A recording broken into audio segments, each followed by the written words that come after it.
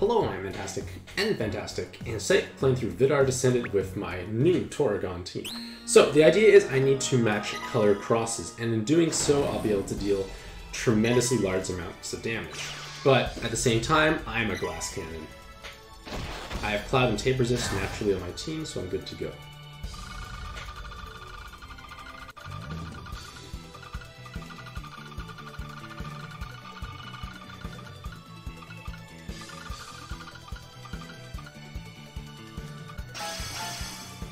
There we go.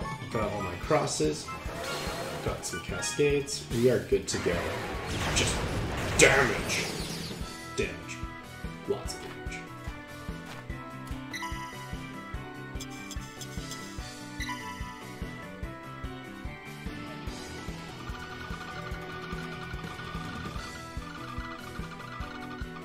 Oh my goodness. I did not put the Wretch's time debuff. Forgot that's why Horus is here. Override time debuffs. Clearly get too focused on what's not important.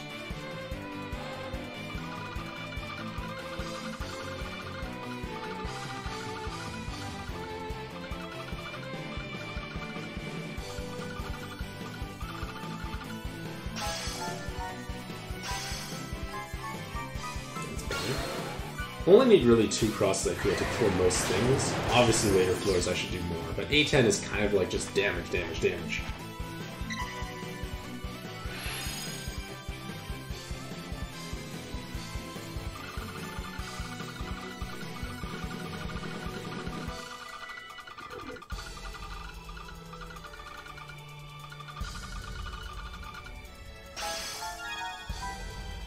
Ah, Jesus Christ. That's the only drawback of, like, that.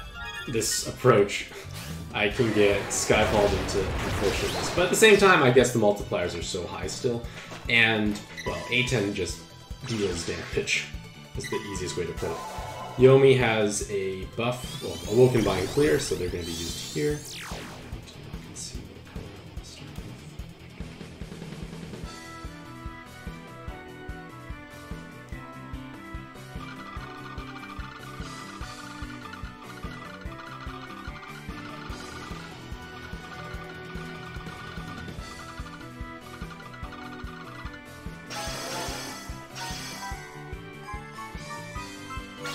Big money, big money, and you're very good. Alright, let's keep this up.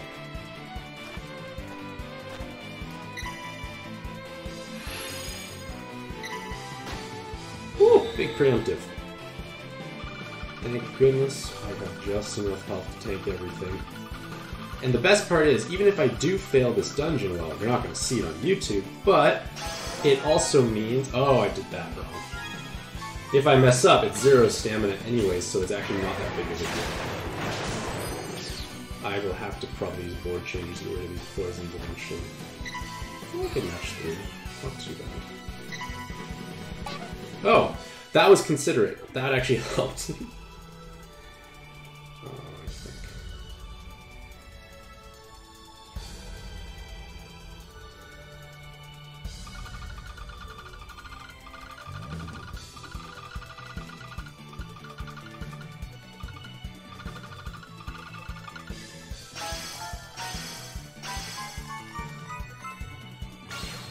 I think three crosses is probably excessive. I'm just going to go out on a limb and say that was excessive because I see like lots of damage cap numbers from killers. Alright, here we come. Let's take a look.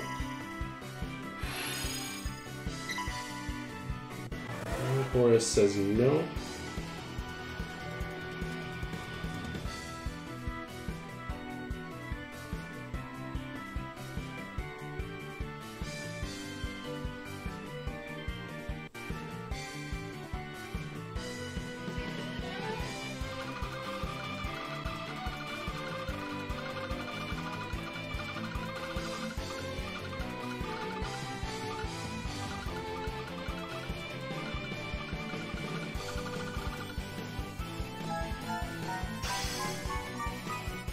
Oh, whoops. That is not how I did I was trying to break up a different combo.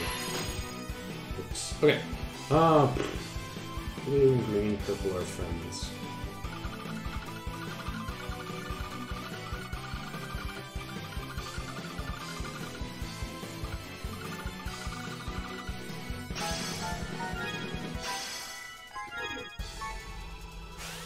Oh, that's not any color whatsoever.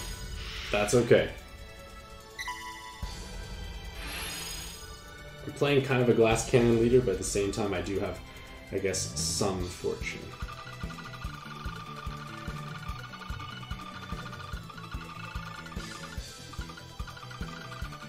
Is this completely necessary?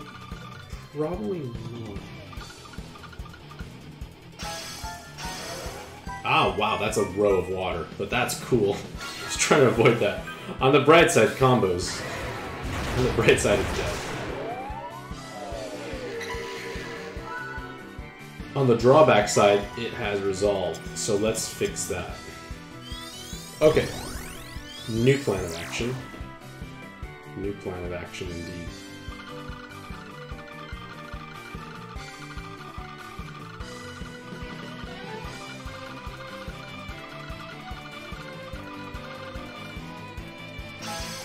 I know I missed a cross there, but it's okay because I feel like excessively crossing is, well, said, excessive. There we go, follow-up attack. I don't have a follow-up attack on the whole team. Oh my goodness.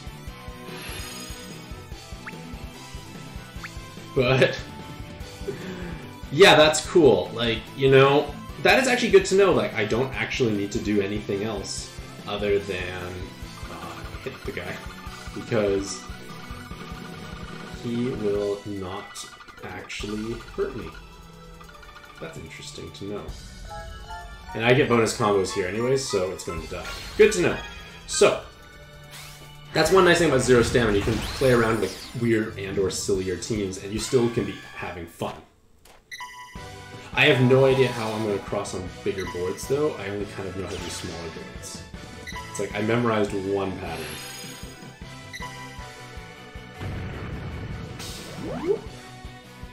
Alrighty. Let's use Toragon to get a board of like just colors, and Yomi to the enhance and all that jazz. Alright, I don't know how to make crosses on big boards. It's gonna look much less pretty by comparison, but at the same time, I should be okay because I believe in myself.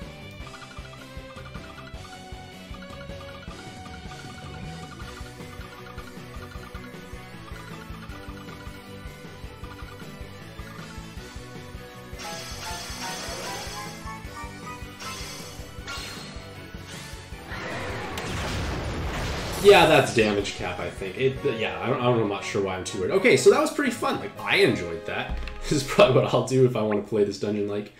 I like Zero Stamina monthly quests because you're allowed to fool around with silly teams and it can work or it doesn't work. Obviously, if you want to do that, maybe bring follow-up attack. It would be a little bit better. But on the bright side, it's a nice way to acquire some Vidars with Toragon if you have the Rainbow Vent Mails to spare. So, hopefully this video provides you some insight as to what you can do for this dungeon. Glass Cannon teams are really the way to go, and bringing the follow-up attack would be smart, I feel, and also, you know, just being aware that there's a resolve on some floors would help. But at the same time, I realize he doesn't actually kill you, just let sits at the end of resolve and nothing happens. So, either way, hopefully all have a fantastic day. I wish you all the best luck in your own pad adventures, and happy puzzling.